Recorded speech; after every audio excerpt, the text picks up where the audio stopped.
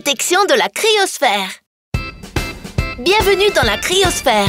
Encore inconnue pour beaucoup d'humains, c'est la portion de la surface de la Terre où l'eau est temporairement ou définitivement gelée, soit sous forme de glace, de neige, de glacier, de sol gelé, etc. La cryosphère occupe une belle et incroyablement grande partie de notre planète.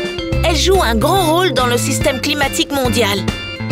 La télédétection nous permet de voir au-delà de ces barrières naturelles.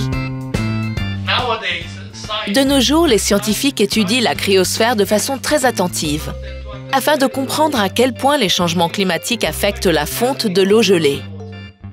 C'est un problème très grave auquel l'humanité doit faire face, car de nombreuses vies humaines et écosystèmes sont menacés.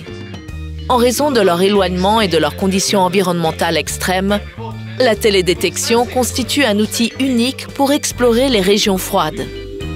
En étudiant la cryosphère avec des capteurs de télédétection, nous pouvons obtenir des informations utiles telles que le déplacement et la densité des glaciers.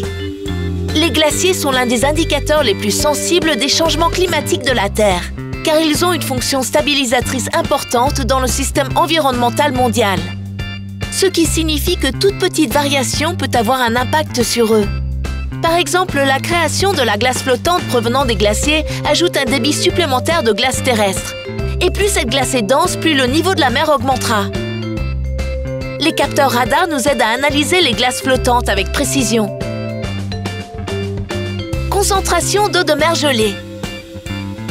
La glace de mer émet généralement plus d'énergie que l'océan environnant, ce qui nous permet de les distinguer lorsqu'on utilise les capteurs appropriés. Couverture de neige est équivalent en eau de la neige.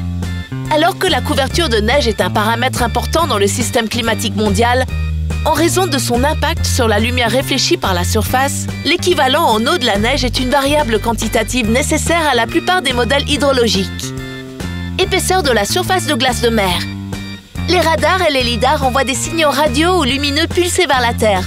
En mesurant le temps nécessaire pour revenir au capteur, le temps d'aller-retour détermine la distance entre le capteur et la surface réfléchissante. En utilisant le niveau de la mer comme référence, on peut déterminer la hauteur de la surface de la glace de mer, une mesure que les scientifiques utilisent pour calculer l'épaisseur totale de la glace de mer. En sachant les endroits où la glace de mer est la plus mince, nous pouvons aussi orienter les navires à travers les régions couvertes de glace. Comme nous l'avons dit, l'étude de la cryosphère est cruciale pour comprendre notre climat changeant. L'explication est simple. Lorsque les rayons solaires atteignent la neige et la glace, environ 90% d'entre eux sont réfléchis vers l'espace. À mesure que la neige et la glace fondent, l'océan et la Terre sont exposés et absorbent l'énergie du Soleil, puis la libèrent sous forme de chaleur dans l'atmosphère. Cet effet est accéléré encore plus lorsque le méthane, piégé dans les sols gelés, est libéré dans l'atmosphère. Le méthane est un puissant gaz à effet de serre qui maintient la chaleur près de la surface de la Terre.